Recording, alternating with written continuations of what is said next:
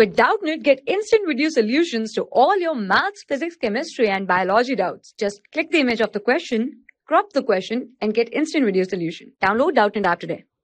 Hello student. So the question is the RMS speed of a molecule of an ideal gas is V naught. If the pressure of the gas is half but the temperature is kept constant then RMS speed of a gas molecule will be.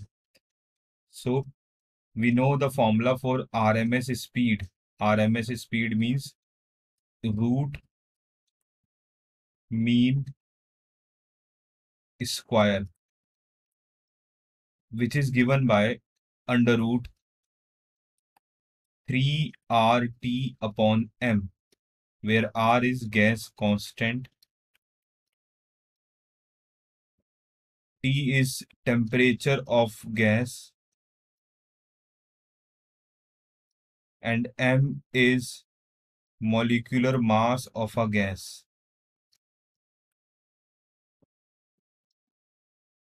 Now this formula is clearly indicating that the RMS speed depends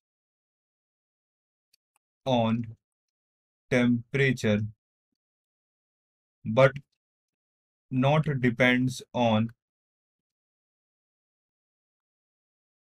pressure.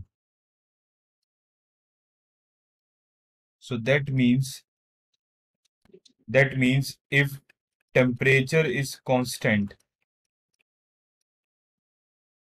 then RMS speed will be same. Because the other quantities R is also constant M is also constant. So that means the RMS speed will remain same that is V naught. Which means that Option 4th is correct. Thank you. For class 6 to 12, IIT JEE and NEET level. Trusted by more than 5 crore students. Download Doubtnut app today.